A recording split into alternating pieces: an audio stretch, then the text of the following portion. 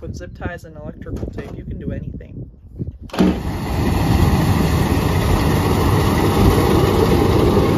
And uh, we got it out. Everybody, welcome back to Ag with Emma. Today I've got a uh, corroboration, a mishmash, a big old mumbo jumbo of the rainy days that we've had since we got down here. So we got down here on the 20th of May, which was a Friday. We started cutting the next day, a Saturday. We cut part of Sunday, ran into wet wheat, and then we got rain and then we cut for a couple more days after the rain dried like after everything dried down and then we got more rain. And then we've been rained out for a week. Today is the it's the first monday of june. I believe it's the 6th i could be wrong. But we just got combines out of the field that we were got rained out in last week. So last it was the 31st of may that we got rained out. And i'll have a bunch of videos not a bunch but like a sequence of events. I'll show you the field though really quick that we just pulled out of. I mean, you can kind of already see it, but there's still puddles and uh, that's where the combines got out of. So we're moving to our next field because we couldn't get out of the field. They think that the next field is going to hold them up. Hopefully it's a little soft and we got around six to I think six inches total between a couple storms and it was just a whole mess. But hopefully we can cut at least a little patch today to move our stuff over there because this field is not drying out. Like there's still a puddle sitting there. But hope you enjoy this mishmash, probably very random video of the things we've been trying to do on rain days. We went to town a couple days, like we spent a lot of money on things that we probably didn't need. We've been sitting around the camper a lot. I only get phone service in my windowsill of my bedroom in the trailer, so I've been like cooped up in my bed like this. trying to edit and post YouTube videos. So if I ever have a gap in posting, it's probably because we've been sitting in the trailer because I would get crap for service in there. So with that, let's go follow the little mess of events that it has been since we got down here. Well, we made it. Everything's unloaded. Um, we're getting the header trailer ready to go right now. And we'll be ready to whip it in the morning. Right now we're outside of at a cotton gin. They let us park equipment here so that we can just like keep it in the yard. There's other crews here.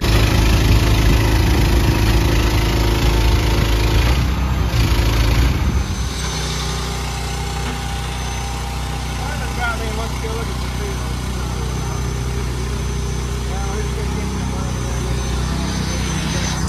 now when you come pick them up in the morning, you can just drive the combine right up to it and go boop, and then you're good. Always squishing the service track, huh, Adam? It's not always going to be this tight, I promise. I hope not. The soil down here is like red. Look at that. Pretty little weedies. I've never besides in like pictures.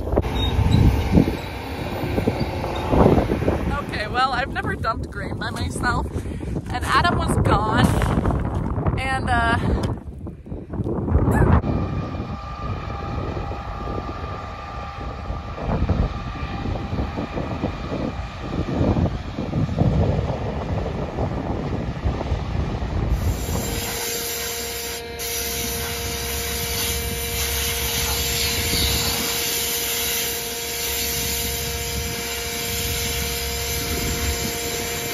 So today is May 24th, I believe.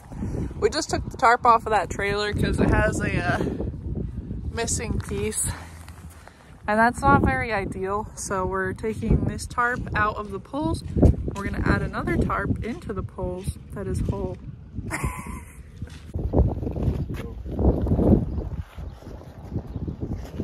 well, I'm glad Sam knew how to do that. Did you know how to do that? We could have figured it out, but now we're sitting on it waiting for Adam because Adam's gone. Well, Is this your introduction? no, it's rainy day things. They look so happy to be here. The sun is shining for the first time in like three days. We're looking at some new Hettas. Got anything to say about them? Uh, we're too broke for this. What you can afford. Another thing we're doing since we are rained out is changing the sieve on the combine. He's he's waiting to see if the service truck gets stuck. But um, Adam said it's just like bent up, doesn't work right, so we got to change it. Something the dealership skipped over, right? Mm-hmm. Yeah. Uh-uh. You're doing great. Well, I forgot to film all of that, but how did she do? I think that's in good. I was putting hydraulic fluid in the combine. Um. I need to start recruiting my crew members to record things when I'm not around. But there's the old sieve. And it just like wouldn't open. It was just kind of foobarred. Yeah. I'll get one of you two to crawl up in there together and make sure you don't bend it. Good. What day is it? The 27th? Is it the 28th? It's the 28th, it's a Saturday, and we're waiting in the pickup. Got some snacks going on because the wheat is too wet to cut right now.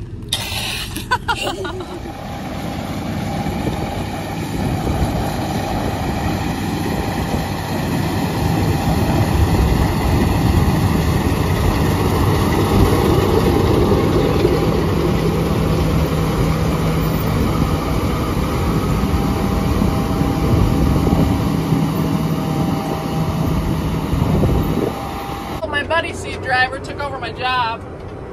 Are you having fun? also, please don't mind the mud on my windshield. Um, it's just mud. Tractors clean off.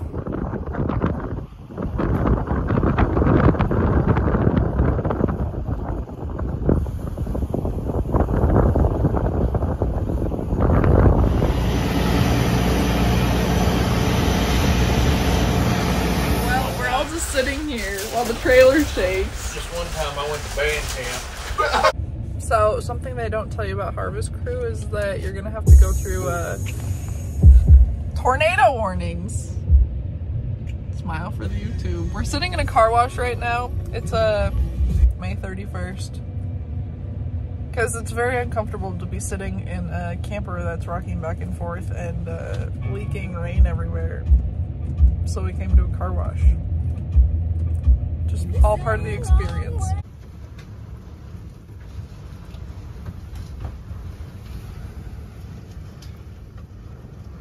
So like I said, on rainy days we fix things. And today, it's the wiring on a trailer.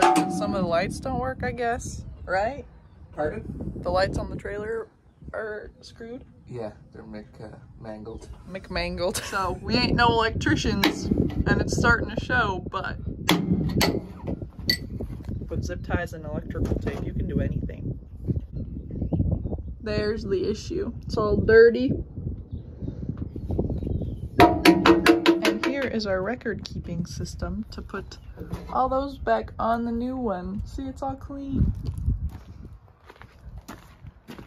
This is dirty. We're gonna show you what we do when we need to check the moisture of the wheat and see if it is ready for us to roll our combines in just to even get a test cut of it. So we're gonna walk out in the field, show you some good looking wheat, hopefully.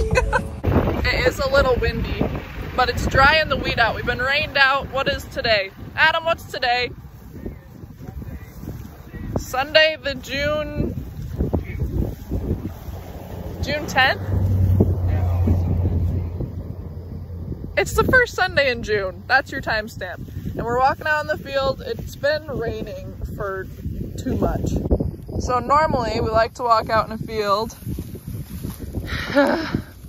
and not not pick up mud, but that's our uh, that's a different issue.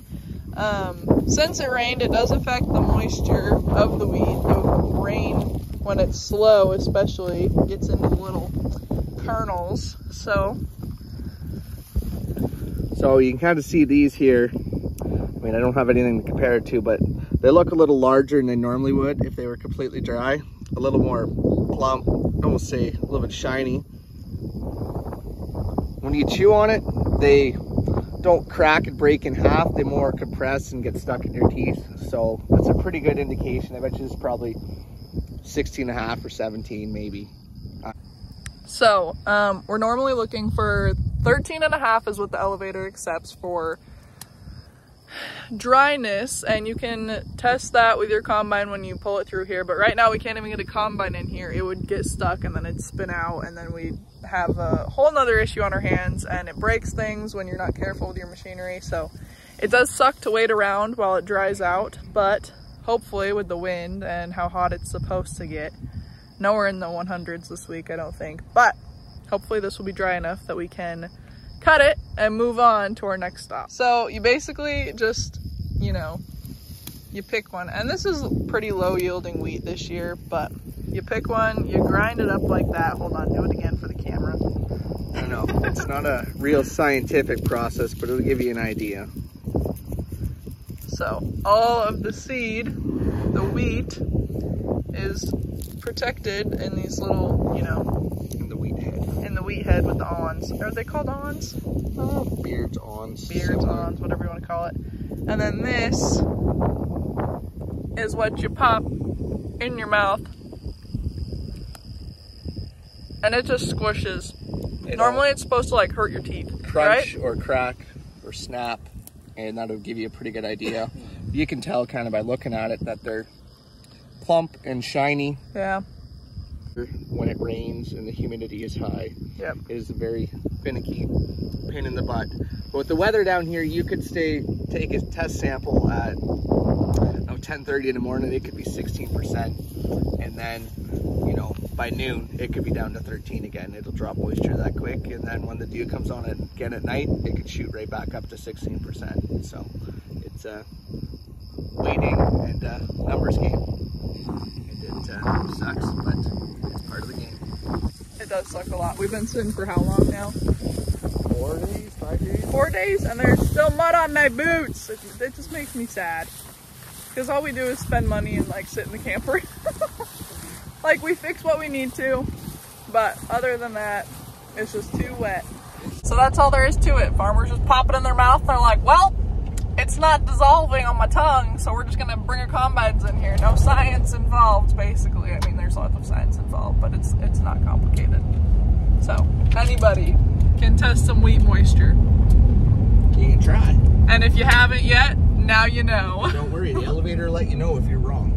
yes. They will not be impressed. Oh, that's another thing we can talk about. So if you bring high moisture wheat into the elevator, they dock you for it. So you don't get as much money, So you put it at the bottom of the hoppers Yes. and then put dry wheat on top and hopefully they don't find it. Hopefully it mixes. Or you send them four loads 17% and then they hate you. I Or would that. recommend it, but But also can't you get docked if you have wheat that's too dry? yes, they've got a whole entire grading scale. If it's if it's too dry, you lose weight um, and you have less bushels, right? Because water makes up weight. So the accepted the accepted moisture is 13 and a half. So anything over 13 and a half, the elevator's paying for extra water that is no weight in the grain. And anything under that, you're technically as a farmer are losing money because you're sending in less bushels. I should go to the elevator and get a video there too. Maybe that'll be later in the season, but now you know. Moisture is important. Failed to get everyone updated, but um we got it out. Anyways,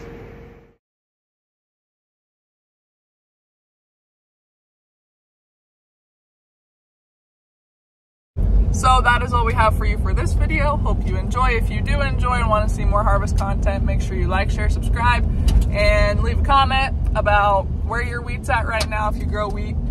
So if you're still not in the harvest process or you, I don't know, just planted it, let me know where your wheat's at. So thanks for watching. Adios. As always, hasta la pasta.